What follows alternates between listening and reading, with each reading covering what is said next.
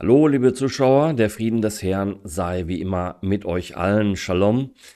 Ja, wir haben den 11. Juni 2024. Ich habe vorhin Watchwoman 65 mal wieder geschaut und ich bekomme ja immer sehr viele Nachrichten von ihr, was ich dann hier auf Deutsch bringen darf.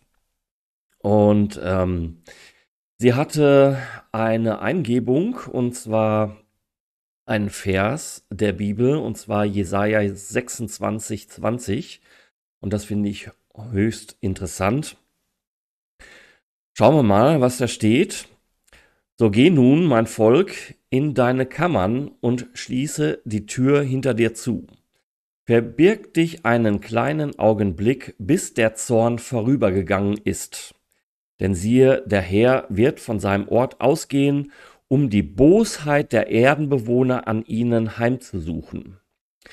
Und die Erde wird das auf ihr vergossene Blut offenbaren und die auf ihr erschlagenen nicht länger verbergen. Ein ganz klarer Endzeitvers. Und damit kommen wir dann mal zu diesen Endzeit-Nachrichten. Wir haben ja wieder einiges auf One News 24-7 und zwar, die Spannungen steigen weiter zwischen NATO und Russland oder auch den BRICS-Staaten. Wird zu einem großen Showdown kommen. Wir lesen das ja in der Bibel, dass wir von Kriegen und Kriegsgerüchten hören werden. Und das sehen wir gerade. So, hier geht's lustig weiter, in Anführungsstrichen. Und zwar ukrainische F-16 werden von Rumänien und Polen aus operieren. USA geben zu. Ukrainer schossen russisches Flugzeug mit Patriot-Raketen innerhalb von Moskaus Korridor ab. Ein Offizier der US-amerikanischen Luftwaffe hat bestätigt, dass die Ukraine mit Patriot A-50-Raketen AVAX Aufklärungsflugzeuge und anderen russischen Kla Kampfflugzeugen innerhalb des russischen äh, Luftraums abgeschossen hat. Ein beispielloses Eingeständnis, das einem Casus Belli gleichkommt, ja, eine Kriegserklärung quasi. Fast gleichzeitig kündigt Kiew an, dass die F-16, die es erhält, auf Luftwaffenstützpunkte in Rumänien und Polen verlegen werden sollen. Ja, One News 24-7 bestätigt diese beiden Entwicklungen. Die Ukraine und die NATO riskieren einen allgemeinen Konflikt, um die russische Luftmacht zu besiegen, damit die NATO Bodentruppen eindringen können, schreiben sie hier. Wie der Chef des Luftwaffenkommandos der ukrainischen Streitkräfte Sergei Gulotz Gulobzow, meine Güte, mitteilte, sollen einige der von der Ukraine erhaltenen US-Kampfjets vom Typ F-16 auf Luft Luftwaffenstützpunkten außerhalb des Landes stationiert werden. Nach Ansicht der Russen bestätigt dieses Eingeständnis die schlimmsten Befürchtungen. Kiew wird Kampfflugzeuge nach Rumänien und Polen verlegen und von dort aus gegen russische Ziele vorgehen. Ja, aus diesem Grund sucht die Ukraine nach einem legalen Trick, um F-16 Kampfflugzeuge ins Ausland zu verlegen und, und dort Reparaturen, Wartungsarbeiten und Schulungen durchzuführen. Das Streitkräftekommando der ukrainischen Streitkräfte beabsichtigt, einige F-16 Kampfflugzeuge außerhalb der Ukraine einzusetzen, um sie vor russischen Raketen zu schützen, diese Flugzeuge werden als sogenannte Reserve für Reparatur oder Ersatzarbeiten an defekten Kampfflugzeugen dienen. Die verbleibenden Kampfflugzeuge werden auf ukrainischem Territorium stationiert und die Flugplätze selbst werden durch Flugabwehrsysteme westlicher Bauart geschützt. Dazu benötigt Kiew mindestens zwei Patriot-Luftabwehrsysteme, zwei NASAMS Luftabwehrsysteme und mehrere Gepard Panzerabwehrkanonen zum Schutz gegen Kamikaze-Drohnen. Ja, diese Gepards, die kommen von der Bundeswehr, die wurden ja nach Rumänien auch geliefert. Russische Medien, die sich auf Kremlquellen berufen, betonen, dass Moskau gezwungen sein wird, eine Reihe von schwierigen Entscheidungen zu treffen. Ja, die Russen werden immer weiter in die Enge getrieben. Ja, noch, wie gesagt, hält das alles zurück. Ne, noch ist der Antichrist nicht offenbart, aber er bringt schon alles in Stellung. F-16 Kampfflugzeuge und ihre Flugplätze außerhalb der Ukraine werden ein legales Ziel für die russischen Streitkräfte werden, erklärte Andrei Kartapolow, Leiter des Verteidigungsausschusses der Staatsduma gegenüber RIA Novosti. Moskau hat die NATO bereits vor dieser Möglichkeit gewarnt. Aha. Wenn US-Kampfflugzeuge von westlichen Basen aus starten und Schäden an der militärischen und zivilen Infrastruktur der Russischen Föderation verursachen und und zu ihren Basen zurückkehren, werden die Flugzeuge und Flughäfen legitime Ziele für russische Truppen sein, sagte Kartapolov. Ja, das wäre dann natürlich ein Eindringen ja, in, die NATO-Gebiete und damit natürlich ein Fall für Artikel 5 ne, der NATO eben bei, äh, bei ähm, na, sag mal eben, äh, Beistandsfall, ja, das dann eben verteidigt werden muss. Ne? Die NATO provoziert das natürlich heraus, aber schau mal, wie es weitergeht. Ach ja, und dann noch, zuvor hatte die Leiterin des niederländischen Verteidigungsministeriums, Kaiser Ollongren oder wie sie heißt, mitgeteilt, dass ihr Land der Ukraine den Einsatz von F-16-Flugzeugen für Angriffe auf russisches Territorium gestattet. Die niederländische Verteidigungsministerin, die Leiterin, auch eine Frau. Hm. Die Niederlande planen der Ukraine bis Ende 2020 24 insgesamt 24 Kampfflugzeuge zu liefern. Also auch da, ne? Ja, wir hatten ja jetzt die Wahlen und diesen Rechtsruck. Ähm, da will ich eigentlich gar nicht so tief drauf eingehen. Ähm, aber auch hier sehen wir, na, natürlich in Italien hatten wir schon gesehen, Meloni oder wie sie heißt, ähm, dass sie trotz, äh, obwohl sie sagt, sie sei ganz anders ausgerichtet, als die ursprünglichen Kräfte des ähm, EWF ähm, und des, naja, ja, aber auch da kommen auf einmal diese Entscheidungen, doch für den Krieg zu stimmen und ähm, das sehen wir jetzt hier in den Niederlanden auch eben. Ähm, man kann wählen, was man will, ja, summa summarum, man kann wählen, was man will. Es diese Politik geht weiter, weil sie gemacht wird von oben. Ja, und das ist nicht nur unbedingt eine kleine Gruppe von Leuten, ja, bestimmte, ne, hier Klaus Schwab und äh, Uno und ach, was weiß ich, äh, Bilderberger und was es da alles so für Klippchen gibt, sondern die werden gesteuert tatsächlich von Satan. Ja. Wie auch immer, ob das jetzt durch Leute indirekt läuft oder direkt läuft durch Gedanken. Ja, aber letztendlich dahinter steht Satan. Ne? Er ist, Satan ist Fürst dieser Welt. Ja, lesen wir mal weiter. Das beispiellose Eingeständnis der USA, dass die russische A-50 AVAX und andere Flugzeuge innerhalb des russischen Luftraums beschossen haben, ist ebenfalls überraschend. Es handelt sich um den Abschuss eines AVAX-Flugzeuges im Januar diesen Jahres im Luftraum über Kuban. Das im Januar abgeschossene russische Radar-Langstreckenüberwachungs- und Kontrollflugzeug A-50 wurde von einer Flugabwehrrakete des US-Verteidigungssystems Patriot getroffen, teilte die stellvertretende Stabschefin der 10. US-Armee Rosanna Clemente mit. Schauen wir mal, da Bilder finden. Ähm, ein umfangreicher Text hier. Die Oberstin der US-Armee erläuterte in einem Interview den Einsatz von Luftwehr Abwehrsystemen, die die Amerikaner den Ukrainern beigebracht haben. Ihr zufolge werden die an Kiew übergebenen Patriot-Luftabwehrsysteme sowohl zum Schutz bestimmter Ziele als auch als Roaming-Systeme entlang der Front eingesetzt. Eines dieser Systeme griff ein russisches Airwax-Flugzeug A-50 aus dem Hinterhalt an. Äh, Clemente stellte fest, dass die Ukraine die Patriots auf Lastwagen montieren und in Hinterhalte locken, indem sie sie so nah wie möglich an die Kontaktlinie heranbringen. Der Oberste sagte, der Oberst sagt oder sagte, dieser Einsatz von US-Systemen sei einmalig.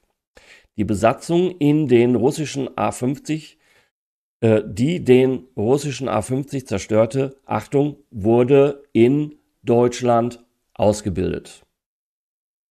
Ja. Deutschland wird da immer wieder tiefer reingezogen. Ja, und also offiziell hat Deutschland ja über die letzten 100 Jahre zwei Weltkriege begonnen, also offiziell, ja, und äh, wahrscheinlich soll es hier das dritte Mal so funktionieren. Ne? Ähm, Clemente wies darauf hin, dass US-Luftabwehrsysteme auch am Abschuss anderer russischer Flugzeuge wie Su-34, Su-35 und Il-76 im Himmel über den Regionen Belgorod und Bryansk beteiligt waren. Wir erinnern daran, dass bei einem solchen Einsatz der Patriot Luftabwehrsystems 65 ähm, insgesamt 65 ukrainische Kriegsgefangene an Bord des Il-76 Transporters getötet wurden. Also 65 ukrainische Kriegsgefangene wurden bei einem Beschuss dieses Transporters eben ähm, getötet. Wenn das stimmt, dann habe ich keinen Zweifel, dass deutsche Ausbilder direkt an der Vorbereitung dieses Angriffs beteiligt waren oder Amerikaner spielt keine Rolle. Ein weiterer Beweis für die Verwicklung des kollektiven Westens in den Krieg gegen uns betonte der russische Militärkorrespondent Alexander Kurz. Also hier sehen wir auch, ne, dass den Russen ganz klar äh, ist, dass hier sehr stark Deutschland auch betroffen ist. Und dazu passt auch hier ähm, ein Artikel in der Bildzeitung kürzlich. Ja, Nahrung, Bunker, Kampfpflicht, Regierung gibt neuen Plan für den Kriegsfall raus. Mhm. Was alle Deutschen tun müssen, wenn Russland angreift. Ja, die Bundesregierung hat einen Plan für den Kriegsfall vorgestellt. Der Plan sieht Folgendes vor. Rückkehr des obligatorischen Wehrdienstes für junge Männer. Erwachsene können verpflichtet werden, in bestimmten Berufen zu arbeiten, wie im Bereich des, der Patientenpflege, bei der Post, in Bäckereien und so weiter. Unmöglichkeit der Auflösung des Bundestages. Ah, stehen ja Wahlen an, ne? Mhm. Da machen wir es so wie in der Ukraine, ne? Das Herr Zelensky hat ja auch alle Wahlen abgesagt und ja, mm, ist quasi jetzt per Dekret ähm, Diktator. Das sind die Werte des Westens, ne, die wir da verteidigen, ja. Verlegung der NATO und Bundeswehrtruppen an die Ostflanke. es ist nicht mehr die Ostfront, jetzt ist die Ostflanke, ja. So. Ich hätte das also vor fünf Jahren, ach, nicht mal vor zwei Jahren, für unmöglich gehalten, aber gut mögliche Verpflichtung von Unternehmen, nur noch Güter für Verteidigungszwecke zu produzieren. Krankenhäuser müssen auf einen plötzlichen Zustrom einer großen Zahl von Patienten über einen längeren Zeitraum hinweg vorbereitet sein. Ja, herzlichen Glückwunsch. Ähm, ja. Man liest das alles hier so vor, diese Nachrichten, ja, und ähm, aus weltlicher Sicht sind das natürlich alles furchtbare und schlechte Nachrichten, ja. Und hätte ich den Herrn nicht und hätten wir den Herrn nicht, ja, ähm, dann würden wir echt verzweifeln. Ja, wir würden in Ohnmacht fallen, wie es ja in der Bibel steht, ja.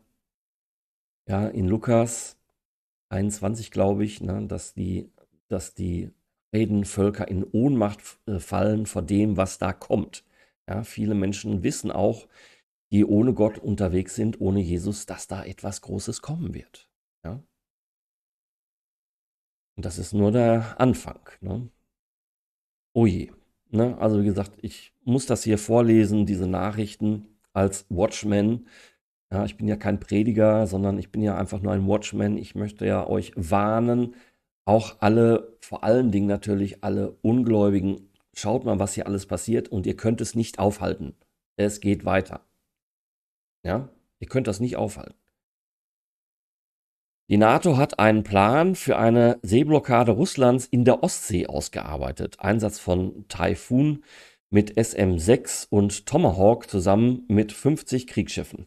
Aha, also die Ostflanke. die NATO hat 50 Kriegsschiffe in der Ostsee mobilisiert und das Taifun-System mit SM-6 und Tomahawk-Marschflugkörpern gegen die russische Ostseeflotte Kaliningrad und die Nordseeflotte eingesetzt. Hm, ich weiß nicht, haben wir hier eine Karte von Kaliningrad? Naja, leider nicht. Doch hier, Kaliningrad, genau. Bornholm, das kommen wir gleich noch zu. Mhm. Das Atlantische Bündnis ist dabei, die Vorbereitungen für einen allgemeinen Konflikt mit Russland im zweiten Operationsgebiet, dem Baltikum, einzuschließen. Ne? Also, wir haben hier diese Flanke und wir haben dann die Flanke weiter südlich eben die Ukraine. So will man die Russen da in die Zwickmühle bringen. Mhm.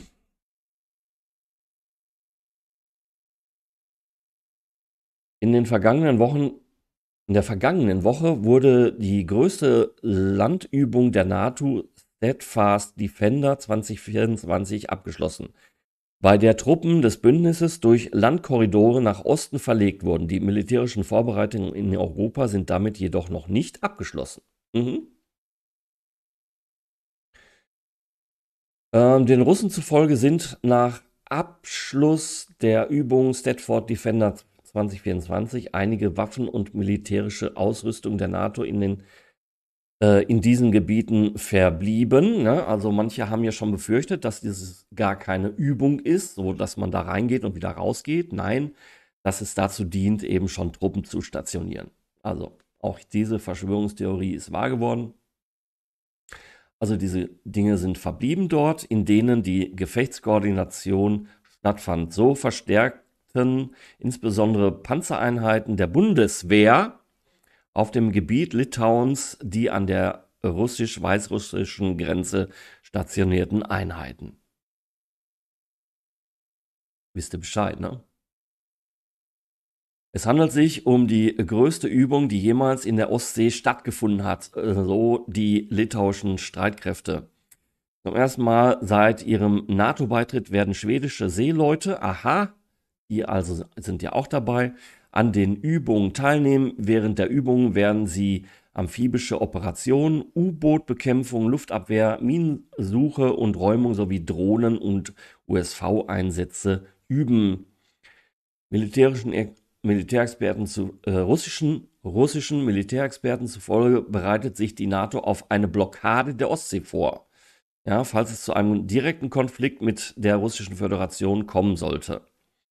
Man muss kein brillanter General sein, um den Zweck der Übung zu verstehen. Vor allem, wenn man bedenkt, dass bei ähnlichen Übungen in den vergangenen Jahren laut dem Journal Journalisten Simon Hirsch Sprengsätze in den russischen Nord Stream Gaspipelines platziert wurden. Genau.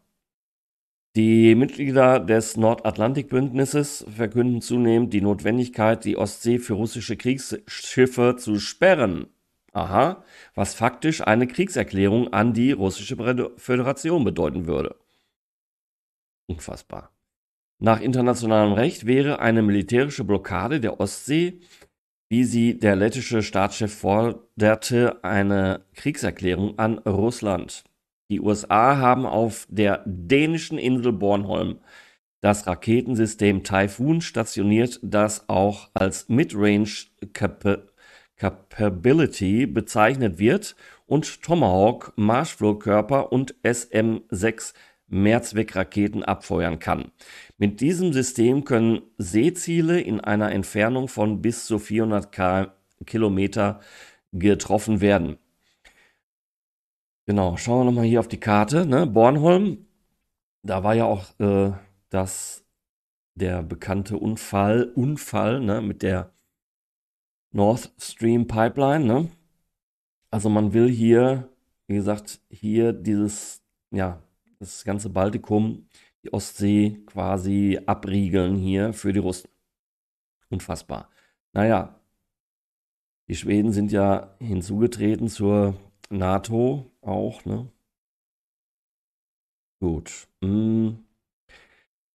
Die Anwesenheit von Tomahawk-Marschflugkörpern mit einer Reiche von 2400 Kilometern auf dem Taifun-Komplex stellt eine Bedrohung für die Zerstörung von Seestreitkräften und Einrichtungen in unseren Basisgebieten dar. Also scheint jetzt wohl doch 2400 Kilometer zu sein, nicht nur 400 Kilometer. Ja. In Anbetracht des Beitritts Finnlands und Schwedens zur NATO wird diese Bedrohung für die baltische und die nördliche Flotte noch zunehmen, sagte äh, Kasatonov. Okay. Wisst ihr Bescheid hier, ne? Die Ostfront heißt jetzt Ostflanke. Hier sind ein paar Bilder auch. Hier sehen wir das auch nochmal, diese Übungen hier und alles. Ja. Aber das ist nicht das Einzige, es geht weiter. Russland kündigt Ultimatum des UN-Sicherheitsrates an die NATO an. Äh, Frankreich indessen spricht von der äh, Stationierung von Atomraketen in Libyen, Kuba und Venezuela mit dem Ziel Florida. Also nicht, dass die Franzosen das machen, sondern die, äh, die Franzosen sagen eben, die Russen wollen das eben dort stationieren. Ne, in Libyen, in Kuba und Venezuela. Ist manchmal etwas komisch übersetzt hier, ne? Also, aber dürfte klar sein.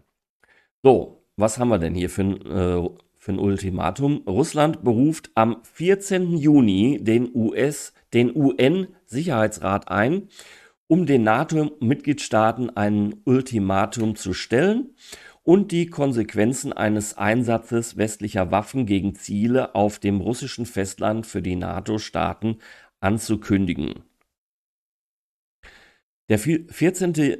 Juni ist übrigens ein interessanter Tag. Das ist nämlich ein Tag nach dem Shavuot, ja, nach dem Pentekost, nach dem tatsächlichen Pfingsten. Ja, am 12. und 13. Juni feiern die Juden eben Shavuot, den, äh, das Wochenfest, Pentekost auch genannt, was wir eigentlich tatsächlich als Pfingsten hätten. Ja, in diesem Jahr ist alles etwas durcheinander, weil wir uns da immer am Vollmond orientiert haben, ist das etwas verrückt, aber das tatsächliche Pfingsten wäre tatsächlich jetzt am 12. 13.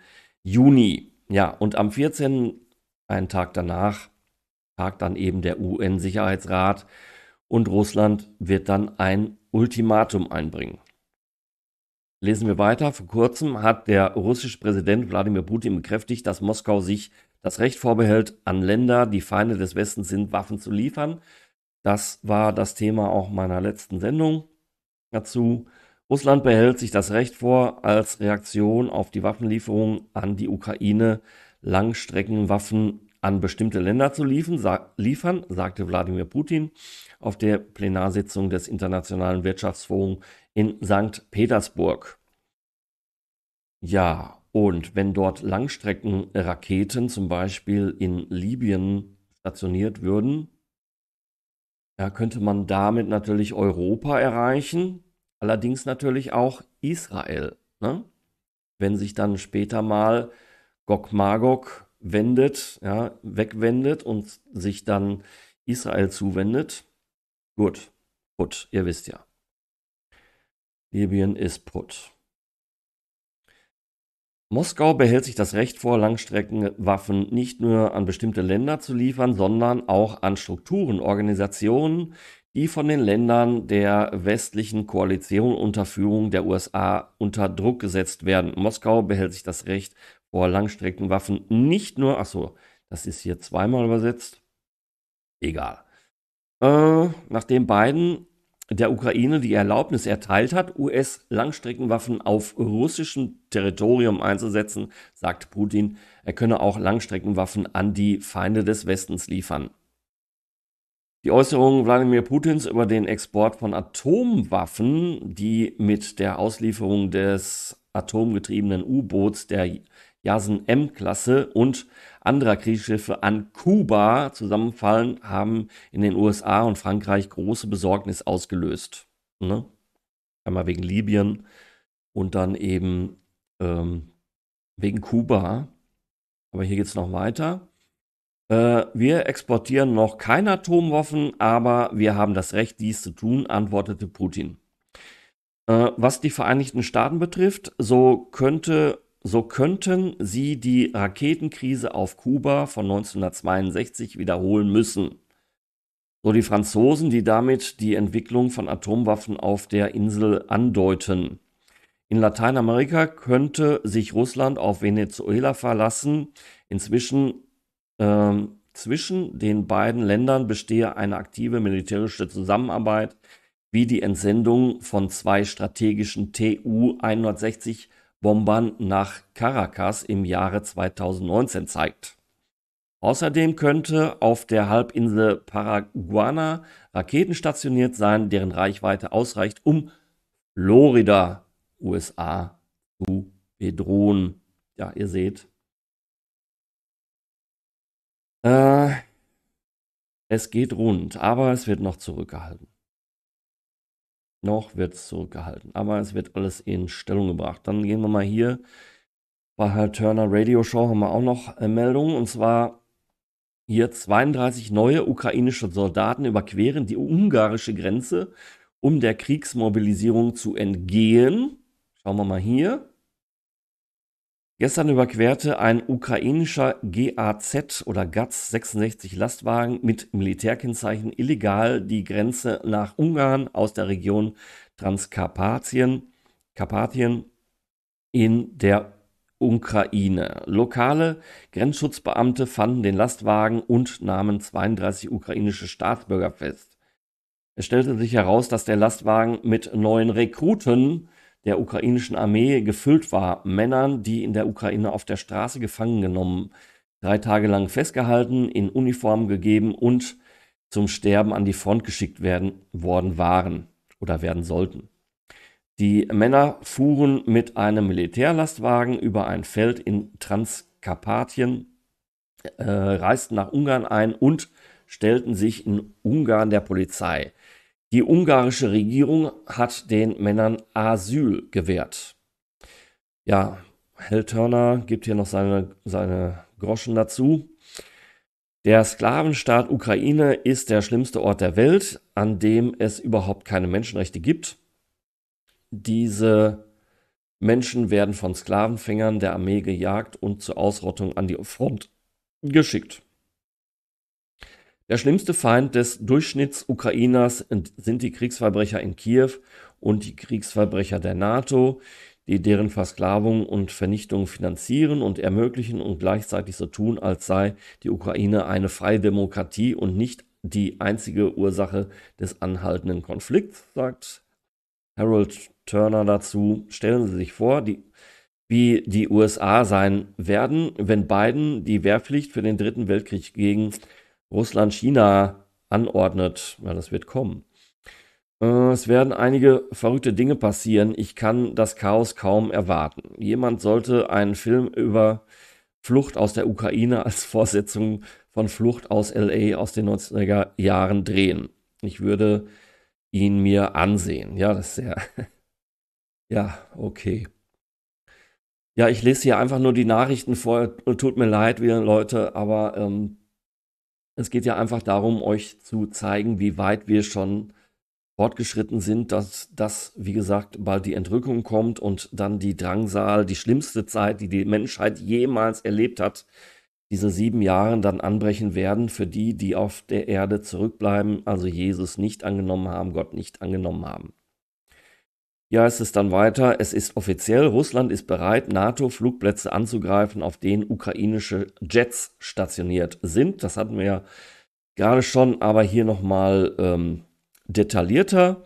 Der Vorsitzende des Verteidigungsausschusses des Russisch, der russischen Staatsduma, Andrei Katapolov, warnte, dass F-16 Kampfflugzeuge und die Flugplätze, auf denen sie stationiert sind, legitime Ziele für das russische Militär seien, sollten sie an Kampfeinsätzen gegen Moskau, Moskauer Streitkräfte teilnehmen. Diese Kommentare kommen zu einem Zeitpunkt, da sich Kiew auf die erste Lieferung amerikanischer Kampfjets durch seine westlichen Unterstützer vorbereitet, nachdem ukrainische Piloten im Fliegen dieser Flugzeuge ausgebildet wurden. Tatsächlich? Oder werden es dann sogar NATO-Piloten ähm, sein? Hm einfach in eine andere Uniform gesteckt, ne, in eine ukrainische, alles möglich, ne? Halte ich für sehr, sehr wahrscheinlich. Äh, in einer am Montag veröffentlichten Erklärung gegenüber RIA Novosti stellte Katapolov klar, dass Russland keine Ansprüche gegen seine ehemaligen Partner habe und diese auch nicht ins Visier nehmen werde, wenn die F-16 nicht für ihren vorgesehenen Zweck eingesetzt oder lediglich auf ausländischen Luftwaffenstützpunkten eingelagert würde, um sie, in der um sie in die Ukraine zu bringen, wo sie ausgerüstet, gewartet und von ukrainischen Flugplätzen ausgeflogen wurden. Ja, und so weiter und so fort.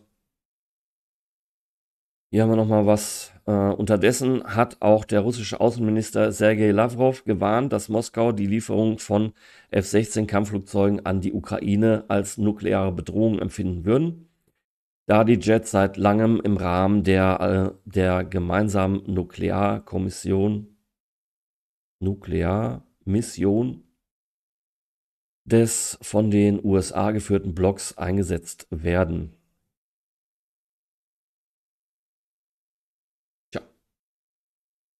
Auch da. So. Florida hatten wir schon erwähnt. Hier haben wir russische Marinegruppe vor der Küste von Melbourne, Florida. Also nicht Melbourne in Australien. Das gibt es auch hier in Florida. Genau, hier haben wir das. Hm, russische Marinegruppe vor der Küste von Melbourne, Florida.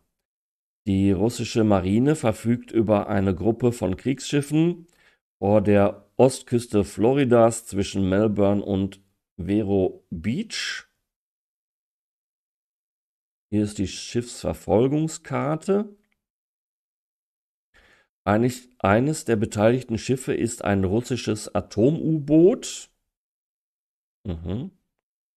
Dieses U-Boot wird von einem U-Bootjäger des Typs P-8 Poseidon der US Navy verfolgt. Also von diesem hier. Das sehen wir hier. Das war sie hier. Sehen wir dieses Flugzeug. okay.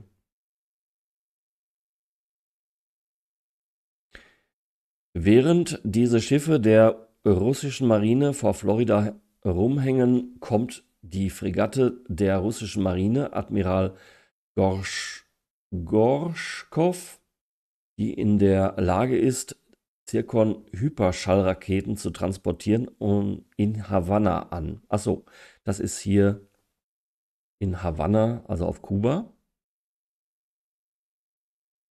Bemerkung von Hal Turner. Damit sie alle verstehen, was hier passiert, machen die Vereinigten Staaten und unsere NATO-Vasallen Russland in den Krieg immer mehr Ärger jetzt zeigen uns Russland, dass es uns Ärger machen kann. Ja, hier innerhalb der Vereinigten Staaten. Während das, was wir in der Ukraine tun, den täglichen Tod russischer Soldaten verursacht, hat sich Russland noch nicht dazu entschlossen, unserem Volk den Tod zu bringen. Beachten Sie, dass ich noch gesagt habe. Ja, ja, ja. Okay. Hm, Überschallraketen, Zirkon, dieses Schiff hier, ja, damit bedroht man natürlich dann auch schon, ja, das US-Festland beziehungsweise Äh, Florida. Sehr interessant. Und dann hat er Alterna Radio Show noch äh, eine Meldung gehabt und zwar unheimlich schreibt er hier, fünf meiner nationalen Sicherheitsquellen in Washington DC sind verschwunden. Das ist alle ein, allerdings ein, äh, ein Artikel hinter der Paywall. Euch leider nicht bringen. Okay, so weit, so gut. Oder so schlecht. Ne? Lest nochmal hier Jesaja 26, sehr interessant. Ähm, dann habe ich noch was von, von Telegram. Mal eben gucken. Und zwar Ernst Wolf berichtet hier auf X, Twitter, folgendes. Katars Zentral Zentralbank hat die Entwicklung ihrer CBDC abgeschlossen. Das grenzüberschreitende CBDC-Projekt der Zentralbanken Thailands, der Vereinigten Emirate, Chinas und Hongkongs ist funktionsfähig. Die Vorbereitungen des neuen Geldsystems laufen weltweit auf Hochtouren. Richtig erkannt, Ernst Wolf. Ja. Auch für dich wäre es Zeit, jetzt zu erkennen, dass du das nicht aufhalten kannst. Ja, das ist nämlich hier die Vorbereitung aufs Mahlzeichen, dass du nicht kaufen und verkaufen kannst. Ja, wenn du nicht den Antichristen anbetest und sein Mahlzeichen annimmst. Ja, hier noch eine andere Sache und zwar Alex Jones äh, hat hier wohl musste wohl sein äh, seine Firma verkaufen. Infowars das habe ich früher von Beginn an immer ge geschaut. Ähm, habe das ja schon knappe 18 Jahre, 20 Jahre ja auch, hm, war ich ja auch Verschwörungstheoretiker. Mir das alles angeschaut. Ja, Infowars musste er jetzt verkaufen. Er wurde ja verurteilt, Alex Jones, den Opfern äh, von Sandy Hook hier, den Familien äh, 1,5 Milliarden Dollar zu zahlen. 1,5 Milliarden Dollar. Ja, gut. Ja, auch in Israel, da geht es auch weiter. Das wäre eigentlich eine eigene Sendung äh, wert, aber ich nenne das jetzt hier mal. Schauen wir mal, wie sich das weiterentwickelt. Äh, die Hisbollah greift weiter an äh, vom Libanon her. Also, ne, da haben wir diese Nordfront Israels. Also, wir hatten ja den Gazastreifen, die Südfront mit der Hamas, aber jetzt kommt halt verstärkt eben die Hisbollah aus dem Libanon, die ja direkt äh, unterstützt wird vom Iran, ne, vom Persien. Ja, die attackieren jetzt sogar auch den größten Hafen, den wichtigsten Hafen Israels, nämlich Haifa. Äh, ja, also auch da werden sich die äh, Israelis wehren müssen. Sie müssen also wirklich da den Krieg, denke ich mal, beginnen im Libanon gegen die Hezbollah. Hier sehen wir mal Bilder. Ein Schiff, äh, also ein kommerzielles Schiff, ja, brennt hier. Also ein Handelsschiff wurde in Brand geschossen. Ja, hier haben wir das nochmal aus Florida, das hatten wir schon. Dann haben wir hier die Natur spielt verrückt auch, ja. Auch da zeigt uns Gott, ne? Schaut mal, was alles kommen wird, ja. Sintflutartige Überschwemmungen in der Region, Region Murcia in Spanien. Da war ich schon mal, das kenne ich. Eigentlich eine sehr heiße Gegend, ja. Costa Calida. Heiße, heiße Küste. Ja, aber hier massive Überschwemmungen und Hagel offensichtlich hier, alles weiß. In der Region Murcia in Spanien. Auch in Brasilien äh, haben wir hier Tornados. Ja, wir sehen also auch hier geht's weiter. Okay, Leute, das waren die Nachrichten, die Endzeit-Nachrichten. für heute. Äh, ihr seht, es äh, beschleunigt sich überall an allen Ecken und Kanten der Welt. Wer noch nicht zu Jesus gekommen ist, sollte das jetzt schleunigst tun. Ja, die Entrückung steht an, die Drangsal steht an, das Gericht wird über die Erde kommen. Beginnt mit der Bibel, sie zu lesen.